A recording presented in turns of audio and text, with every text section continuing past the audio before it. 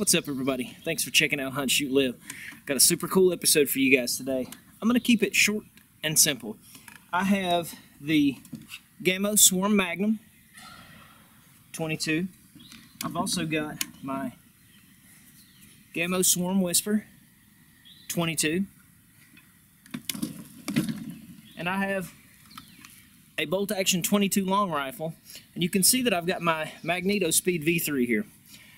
I am going to, uh, I'm going to test these three and just get some velocities, write it down.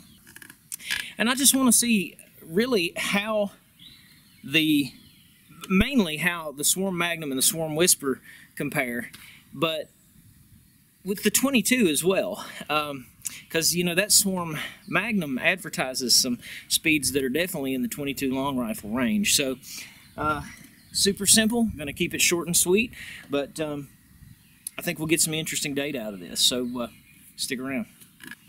Okay, I've actually got some little 22 shorts.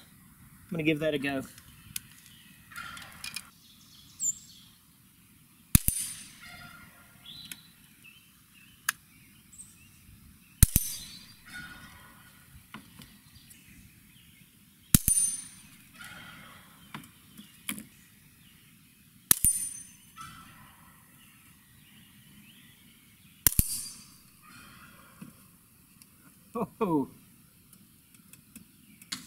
Okay, that did it for the shorts. Let's try the long rifle.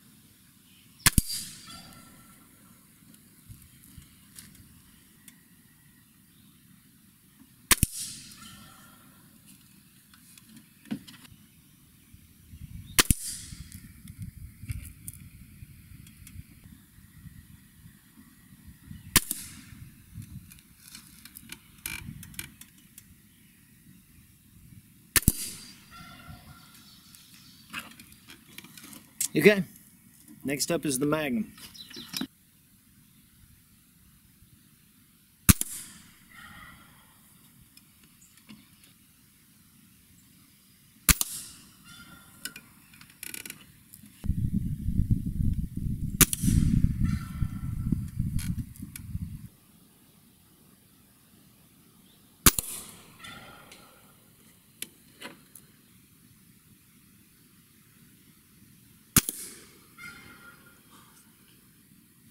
Well, that was dang fun.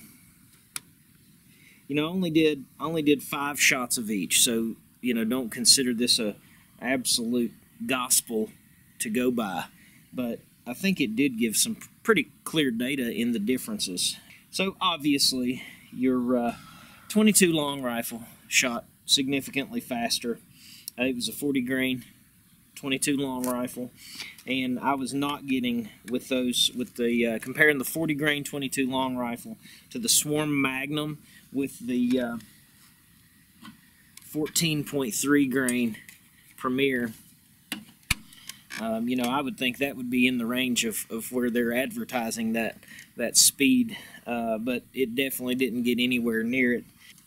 The Swarm Magnum had an average feet per second of 873. It had a low of 855 and a high of 901. And it had a standard deviation of 17, which isn't terrible, uh, I would think, for a pellet rifle. Um, you know, comparatively, the 22 long rifle had a high of uh, 1154 and a low of 1102. So even the low of the 22 long rifle with a 40 grain bullet compared to that 14 grain pellet was 200 feet per second faster. I tried some 22 shorts and they were the slowest out of everything. Uh, they had an average speed of 521, low of 504, high of high of 562, and a standard deviation of 23.2. Uh, my standard deviation on those 22 long rifles was 20 point, 21.2.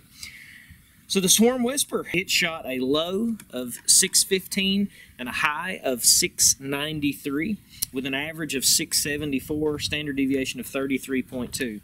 So the the Magnum, you know, with that uh, comparing those averages, that's almost a that's a 200 feet per second average difference uh, with the benefit going to the Swarm Magnum. So, uh, but you know, if you if you guys have watched my video of my test of each one of those rifles at range, the uh, the Swarm Magnum was only dropping like 10 inches at 100 yards and seems like the uh, whisper was double that. So that makes sense. You know you're definitely going to get more range.